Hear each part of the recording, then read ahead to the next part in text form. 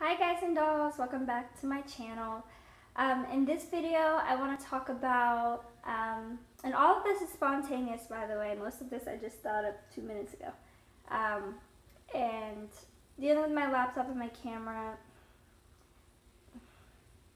sometimes I know the screen is narrow and it's probably a pain for some of you guys, um, but I would rather upload um, something where you can still get the message versus trying to deal with technical stuff and you not being able to see this till maybe much later on. Um, but I want to talk about today, um, I want to talk about kindness. Um, and um, I don't I don't know if you guys heard of the the quote. It's like a simple act of kindness. Sorry, my dog. Simple act of kindness um, a random act of kindness is um, like the the um, I can't remember right now. Oh my goodness, like I keep forgetting everything.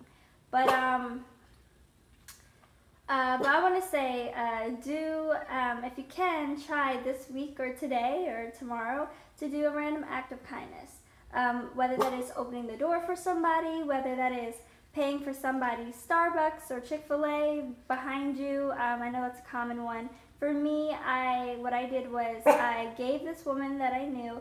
Um, she was she works at my school. I talked to her here and there, but I gave her some flowers and a nice card, and it really brightened her day. So I would say um, try to do something that makes you um, try to do something that can brighten somebody else's day. Sorry, my dog's acting up. But let's be kind. If we, in a world where you can be anything, be kind. All right, guys, take care. Bye now.